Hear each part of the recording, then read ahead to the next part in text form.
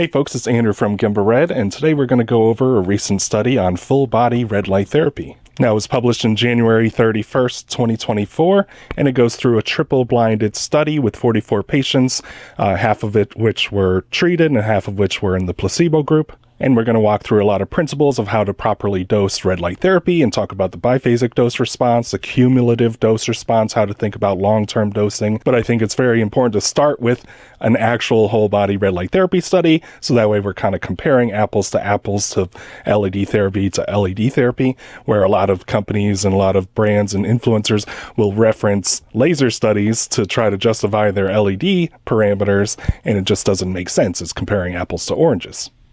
So let's go over the parameters of this study. It's free to read, so you can look it up yourself. Uh, but it uses 660 red and 850 near infrared. The irradiance is 28 milliwatts per centimeter squared. You can see in the table it's watts per centimeter squared, so you have to multiply by a thousand to get milliwatts. Now, my first problem with this study is that their dosing math doesn't add up. That if you multiply 28 milliwatts per centimeter squared times 1,200 seconds, I get 33 0.6 joules per centimeter squared. So I'm not sure what I'm missing, why they would report 25.2, and the math really clearly shows I've tried to double check it a bunch of different ways, and it's always 33.6. But either way, this dose seems pretty reasonable 25 or 33 joules per centimeter squared for a whole body treatment. And again, remember, it's not a targeted laser with a lot of skin contact compression. So it's more of a systemic treatment. So maybe you need a little bit more energy to overcome the reflection losses and overcome the lack of penetration. But I think the exposure time and the low intensity are also important for the systemic effects of full body red light therapy that we need to recognize it. It's not a direct treatment that you might use lower doses. It's more of a systemic treatment that you need longer exposure times. So regardless if it's 25 or 33 joules per centimeter squared, you know, that might be an effective range that the study got good results with this dose. So the question would be, should we increase the dose? Would we get a better response if we do more, if we do 40 or 50 joules per centimeter squared? Or should we decrease the dose? You know, it, it depends on how your body responds to red light therapy.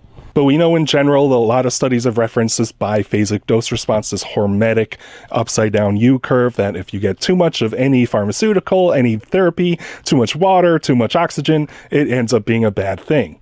One quote in a paper by Dr. Hamblin is very nice, so I'll read that to you. The biphasic dose response describes a situation in which there is an optimum value of the dose of PBM, most often defined as the energy density joules per centimeter squared. It has been consistently found that when the dose of PBM is increased, a maximum response is reached at some value, and if the dose is increased beyond that maximal value, the response diminishes, disappears, and it is even possible that negative or inhibitory effects are produced at very high fluences. So we know if the, the study decided to use 25 or 33 joules per centimeter squared, you know, maybe we can do a plus or minus a little bit around that range, but that seems to be a good dose that has been proven to be effective. So we don't want to kind of extrapolate on our own unless we know what we're doing. And I love the way that Dr. Hamblin wrote this, that he wrote dose in quotes, and he says that it's most often defined as energy density, which is an important point for my next slide. So we talked about getting the dose in the right range, but what about the intensity? What if we want to speed it up? We don't want to spend 20 minutes doing full body, we only want to spend 10 minutes. Well, if we follow the law of reciprocity, that as long as you get the same amount of energy, if you double the intensity, you could cut the time in half. So the math is very straightforward. If we want to double the intensity, we get 56 milliwatts per centimeter squared, and then we can cut the time in half and we get the same energy density. However, and this is a big however, and a lot of people are conveniently kind of missing out on this, especially brands selling you high intensity products, and they just say, oh, we're saving you a lot of time, you're welcome, but you might not get the same therapeutic response. So you can deliver the same amount of energy, but if you do it too fast, you might get a different response.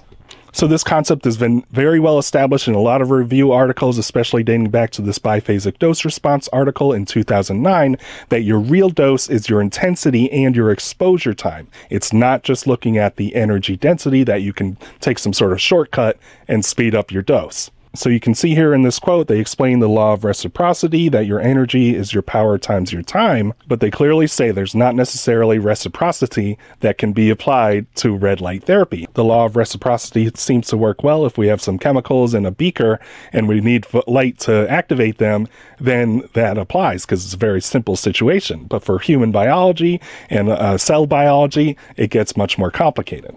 And so that hypothetical situation that I said that doubling the intensity could cut your time in half, they clearly say that it doesn't work that way. If the power is doubled and the time is halved, then the same energy is delivered, but a different biological response is often reserved. And so they're very clear about this point. It might be better, it might be worse. We don't know until we actually test it. So if we want to get the consistent results, then we want to mimic the studies as close as possible. And we don't want to extrapolate that higher intensities would be faster or better, or you need deeper penetration or whatever it is that you need the right amount of dose and delivered in the right amount of time, delivered by the right amount of intensity.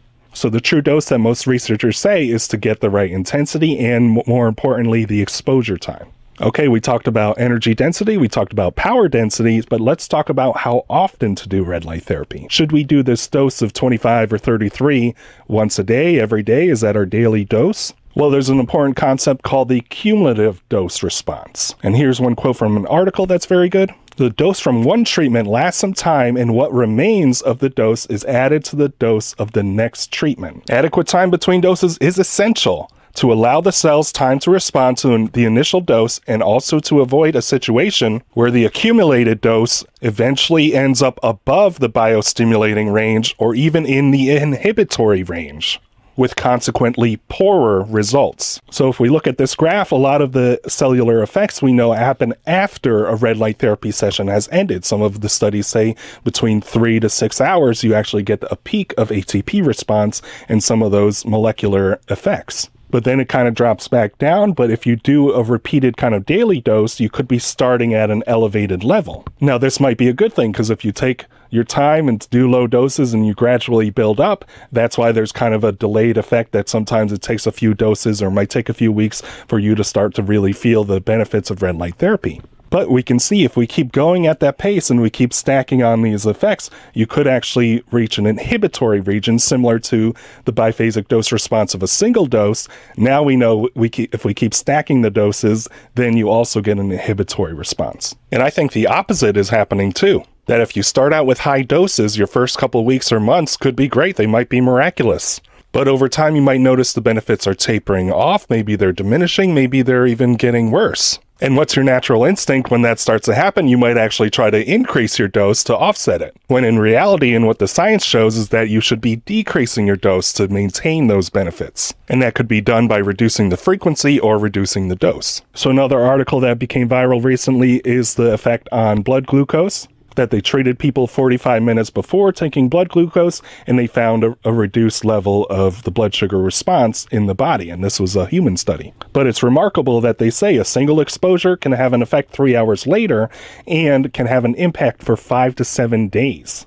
And the timing of how they did this, they did the red light therapy 45 minutes before taking the glucose so they would allow the cellular effects to build up. So back to our full body study, they did doses three times per week. So that's a very important detail that wasn't in that initial table. You have to read the article, but doing it three times a week is very important that they didn't do it daily, they didn't do it every day. So if this study did it three times a week, uh, you know, Monday, Wednesday, Friday, it might not be better to do it every day. So we might not want to do this dose of 25 or 33 joules per centimeter squared every single day because again, we've got the cumulative dose response. And I think this is a big problem when people are looking at short term studies or studies that are clinical grade and they think they need to do that dose every day with their at home device.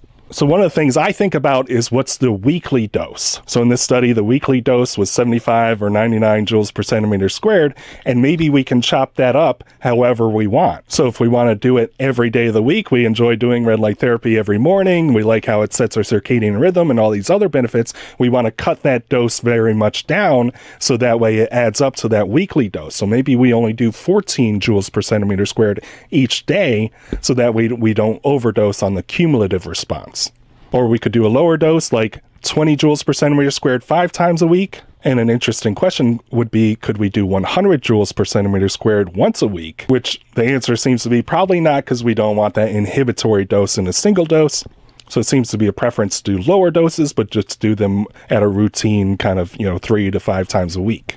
Now, this is another study that really brings together a lot of these dosing concepts, especially when it comes to cumulative dosing and biphasic dosing. That when they treated rats with TBI, they found that three consecutive treatments, so three days in a row, worked better than doing it 14 days in a row. And they decided if they wanted to do more frequent dosing for a longer period of time to cut the dose in half. And the other thing is what I talked about was the way they cut the dose in half was they also cut the intensity in half because they wanted to keep the exposure time the same because they find the exposure time is very important. So for me, this really brings up another point of not just kind of the cumulative dose response, but how long are you doing it? Are you doing red light therapy every day for months and years, like a home use device? And that might be kind of a risky idea to use therapeutic dosing for a very long period of time. So if we go back to this fibromyalgia study, they only did for four weeks a total of 12 sessions. And they found with follow ups, two weeks, three months, and six months later, that they still had some benefits. So most red light therapy studies are done within a limited time frame. So if we want to expand our time frame for how long we're going to do these doses, again, that might be another reason to reduce the dose and reduce the intensity. Then it might not make sense to use a 12 dose study to tell us how to do red light therapy for years. And so that's what I get kind of concerned about is that if people have a chronic illness like fibromyalgia and we're using that dosing to tell relatively healthy people how to dose red light therapy, then that could be problematic. Like for me, if I don't have any major health issues and I'm doing red light therapy dosing, then I wouldn't use a therapeutic dose that was used on people that are chronically ill. So maybe for chronic illness, a weekly dose of 100 joules per centimeter squared is good. But for a relatively healthy person like myself, maybe I'll cut that in half. Maybe I'll cut that down by a quarter because I don't want my healthy cells to get overdosed because we, you can get that inhibition on healthy cells. The reason why you might do higher doses for unhealthy cells is to bring them back to normal to initiate that healing response. And so that's it. Hopefully, this study helped kind of review some of the important parameters of dosing and how we can think about it for applying it to our own health. The study used both red and near infrared light, 660 and 850. They used 28 milliwatts per centimeter squared. And again, I haven't seen any other studies on whole body red light therapy that use anything higher than 50 milliwatts per centimeter squared. So it'd be reckless to assume that higher intensities are better or faster if we don't have the studies to really show that and they do 20 minute exposure time, which seems kind of long, but you know, it's nice and it's therapeutic. And even the placebo group found some benefits just from laying inside the bed without any lights on.